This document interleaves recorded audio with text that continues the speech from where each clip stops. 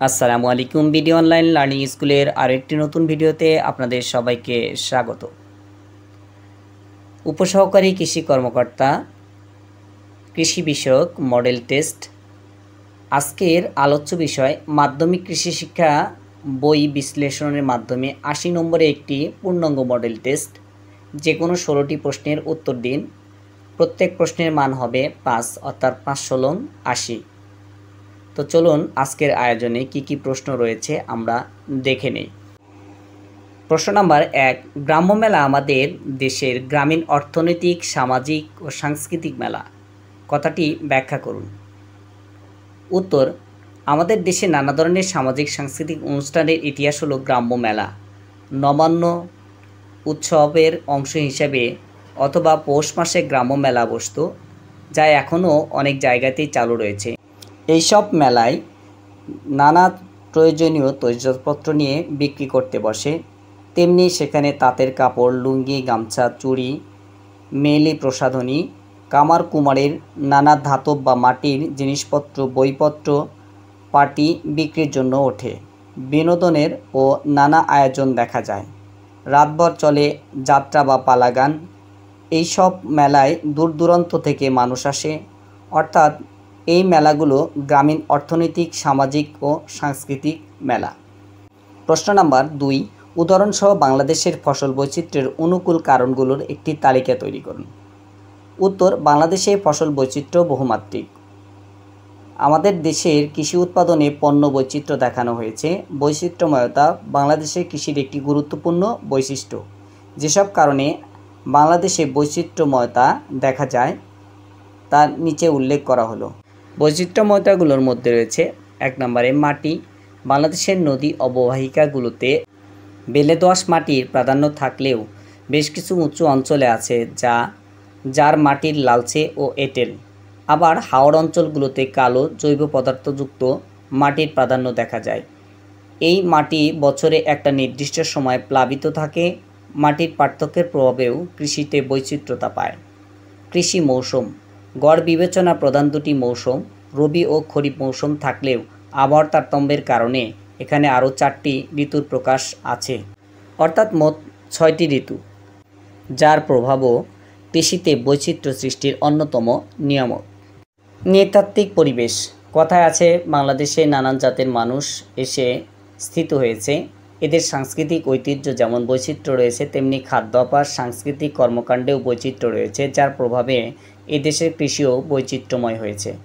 বাংলাদেশে অবস্থানগত পরিবেশ, বাংলাদেশ পৃথিবীর নাতিশীতোষ্ণ অঞ্চলে অবস্থিত দক্ষিণে বঙ্গোপসাগর থেকে জলজ মেঘমালা উৎপন্ন হয়ে মৌসুমি বায়ু প্রবাহিত হয়ে উত্তরে হিমালয় পার্বত্য অঞ্চলে বাধা পেয়ে প্রচুর বৃষ্টিপাত ঝরায় আবার এই পর্বতমালা দেওয়ালের মতো শীতকালে সাইবেরিয়ার হিমশীতল বায়ুপ্রবাহ আটকে দেয়, ফলে শীতও কম হয়।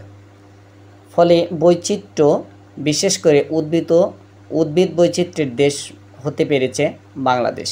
প্রশ্ন নাম্বার তিন, আমাদের দেশের নবান্ন উৎসব একটি কৃষিভিত্তিক উৎসব। ব্যাখ্যা করুন। উত্তর, হাড়ভাঙা খাটুনি নানা উৎকণ্ঠা ও দীর্ঘ অপেক্ষার পরে যখন সোনালি ফসল এসে বাড়ির আঙিনায় ভরে যায়, তখন কৃষক পরিবারের আবাল বৃদ্ধ বনিতার মনে খুশির প্লাবনে সিক্ত হয়ে ওঠে। কৃষক কৃষাণীর চোখে মুখে ফুটে ওঠে দিগ্বিজয়ের আনন্দ। বুক ভরা আনন্দ নিয়ে তারা লেগে যান ফসল মাড়াই, শুকানো, গোলাজাতকরণের কাজে।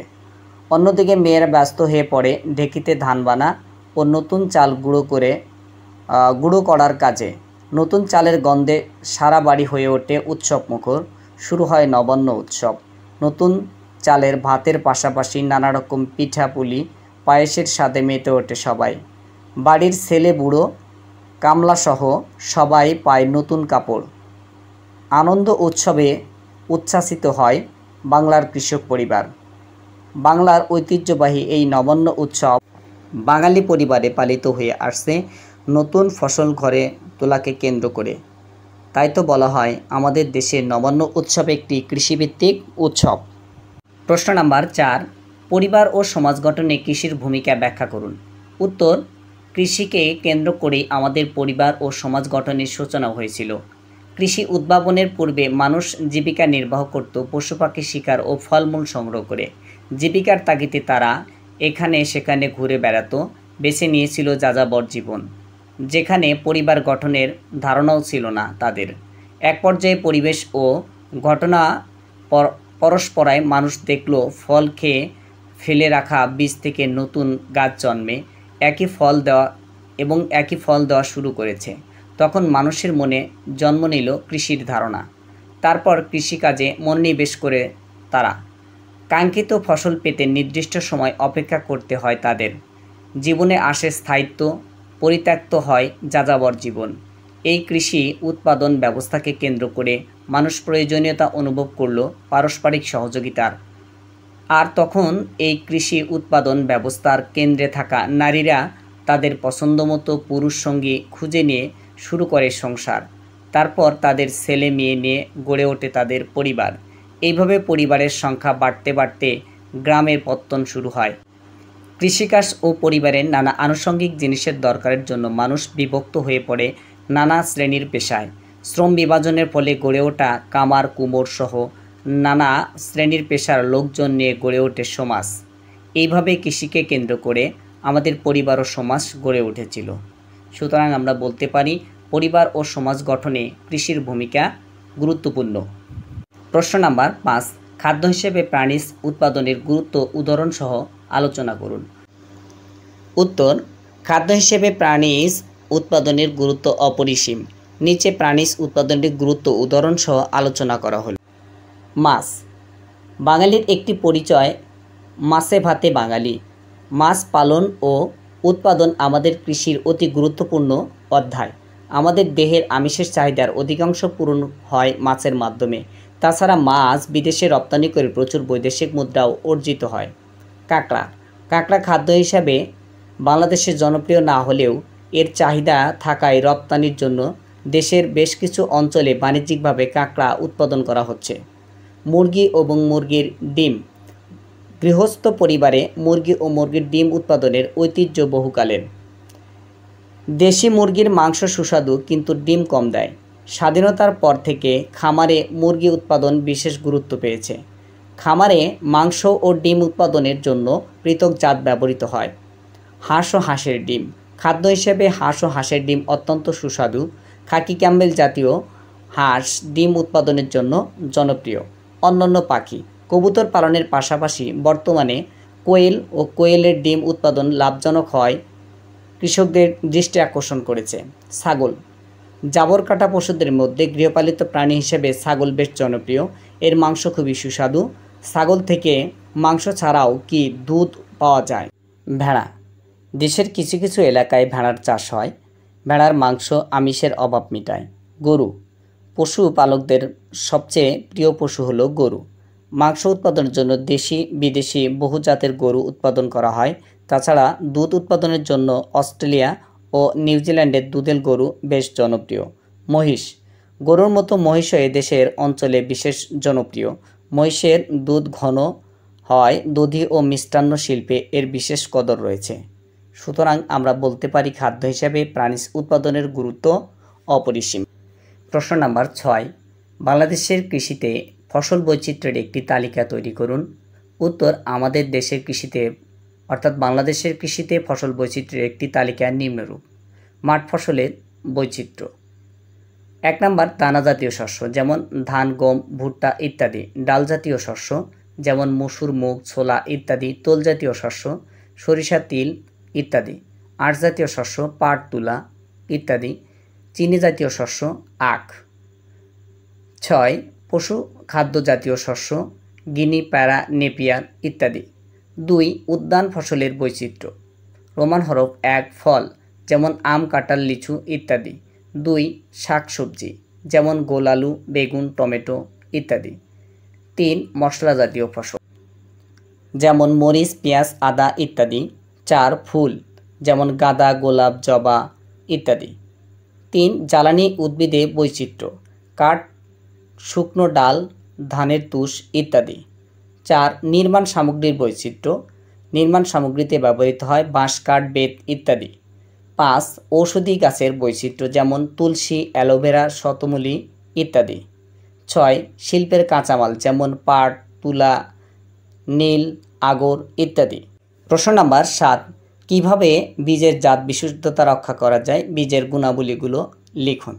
উত্তর, ফসলের কাঙ্ক্ষিত ফলন পেতে বীজের জাত বিশুদ্ধতা অত্যন্ত জরুরি।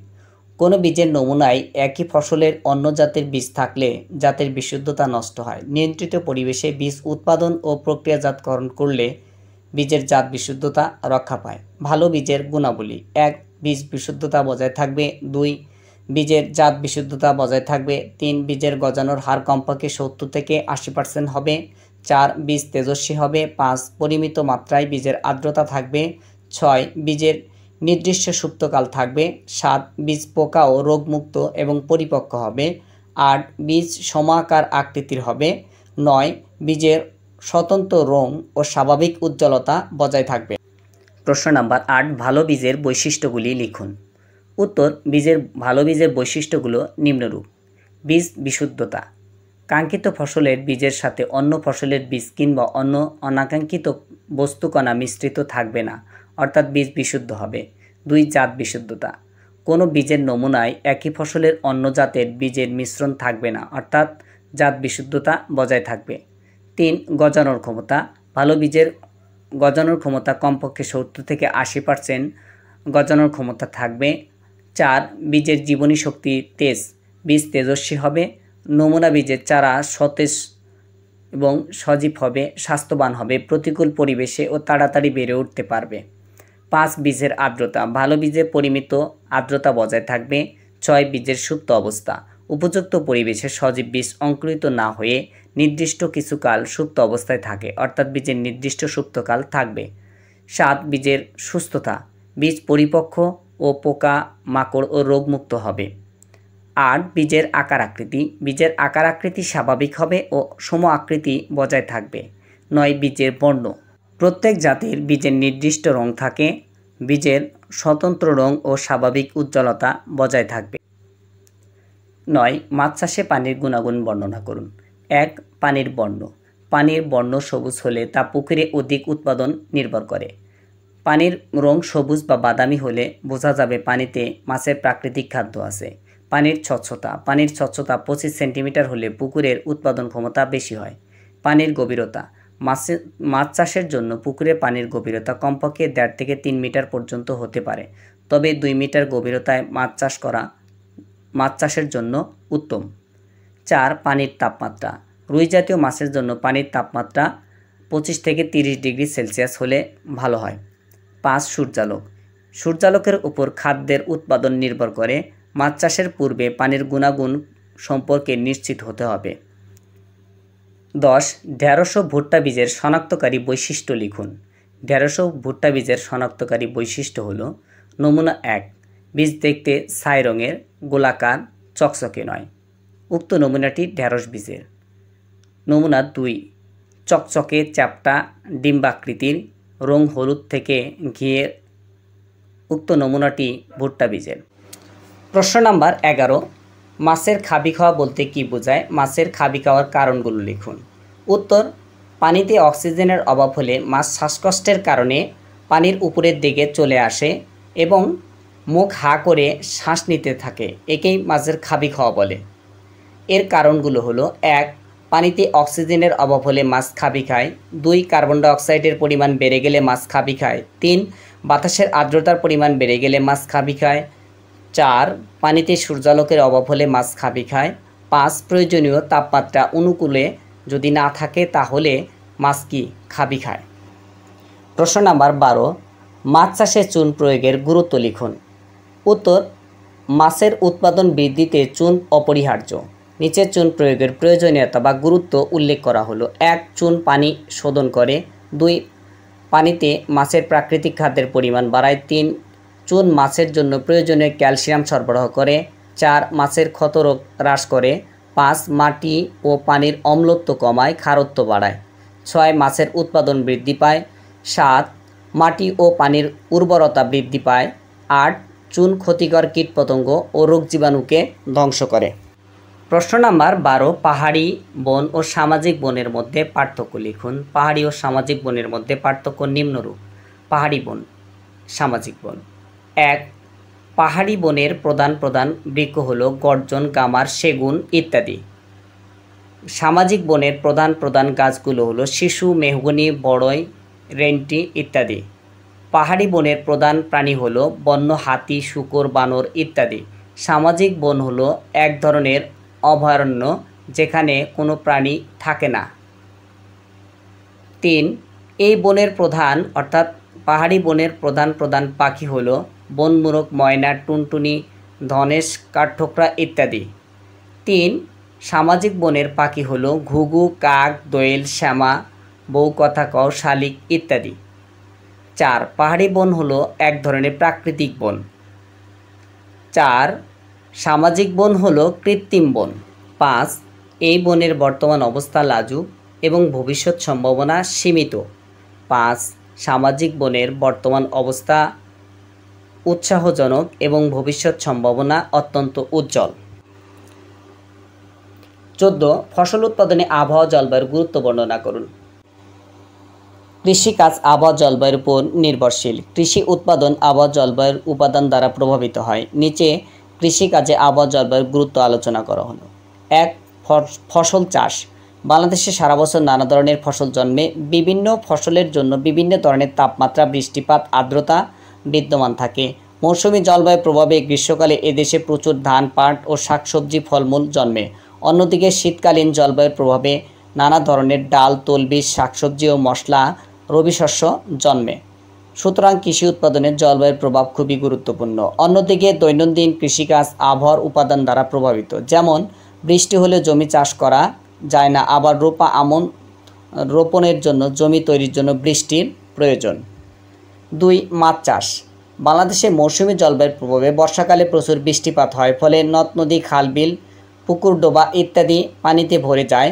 এসব জলাশয়ে প্রচুর মাছ উৎপাদিত হয়। মাছের উৎপাদন ও বংশবৃদ্ধিতে মৌসুমী জলবায়ুর প্রভাব খুবই গুরুত্বপূর্ণ। তিন, গৃহপালিত পশু পাখি। বাংলাদেশে আবহাওয়া ও জলবায়ু, গরু, ছাগল, হাঁস, মুরগি ইত্যাদি গৃহপালিত পশু পাখি পালনের উপযোগী। পশু পাখির জন্য এদেশের বিভিন্ন ধরনের ঘাস, লতা, গুল্ম প্রচুর পরিমাণে জন্মে, যার পিছনে আবহাওয়া জলবায়ুর সুস্পষ্ট প্রভাব বিদ্যমান রয়েছে। সুতরাং উপরের আলোচনা থেকে বোঝা যায় যে ফসল উৎপাদনে আবহাওয়া জলবায়ুর গুরুত্ব অপরিসীম। প্রশ্ন নাম্বার পনেরো, স্বল্প পুঁজিতে কবুতর পালন করা যায়। উক্তিটি ব্যাখ্যা করুন। উত্তর, কবুতর আমাদের অতি পরিচিত একটি গৃহপালিত পাখি। কবুতর পালন যেমন আনন্দদায়ক, তেমনি লাভজনক। কেননা কবুতর মাত্র পাঁচ থেকে ছয় মাস বয়স থেকে ডিম দিতে শুরু করে। মাত্র আঠাশ দিন অন্তর অন্তর এরা ডিম পারে এতে করে কবুতর থেকে বছরে প্রায় সাত থেকে আট জোড়া বাচ্চা পাওয়া যায়, যা মাত্র তিন থেকে চার সপ্তাহের মধ্যেই খাওয়ার উপযোগী হয়। অন্যদিকে মুক্ত পদ্ধতিতে কবুতর পালনে কবুতরকে প্রচুর খাবার সরবরাহ করতে হয় না, কেননা দিনের বেলায় বিভিন্ন জায়গায় উড়ে বেড়ায় এবং খাদ্য সংগ্রহ করে খেয়ে থাকে। এছাড়াও কবুতরের রোগবালাই কম হয়। এই সমস্ত কারণে কবুতর পালনে খরচ খুবই কম হয়। তাই বলা যায় স্বল্প পুঁজিতে কবুতর পালন করা যায়। প্রশ্ন নাম্বার ষোলো, গৃহপালিত পশুর দুটি অর্থনৈতিক গুরুত্ব লিখুন। এক, চামড়া ও চামড়াজাত দ্রব্য। বিশ্বের চামড়া ও চামড়াজাত দ্রব্যের বিপুল চাহিদা আছে। এটি বাংলাদেশের রপ্তানি আয়ের একটি গুরুত্বপূর্ণ উৎস। গরু, মহিষ, ছাগলের চামড়া প্রক্রিয়াজাত করে বিদেশে রপ্তানি করা হয়। চামড়া দিয়ে সুটকেস ব্যাগ, জুতা, বেল্ট, পোশাক, দাস্তানা ইত্যাদি তৈরি করা হয় এবং এগুলো বিদেশে রপ্তানি করে প্রচুর বৈদেশিক মুদ্রা আয় করা যায়। দুই, হাড়ের ব্যবহার। আমাদের দেশে গবাদি পশুপাখির হাড় ও সার হিসেবে হাড়ের সুষ্ঠু ব্যবহারের মাধ্যমে দেশে রপ্তানিমুখী শিল্প গড়ে ওঠার সম্ভাবনা বাড়ছে।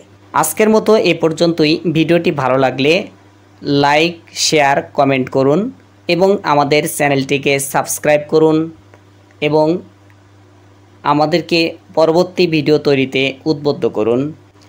আজকের মতো এ পর্যন্তই। ভালো থাকুন, সুস্থ থাকুন।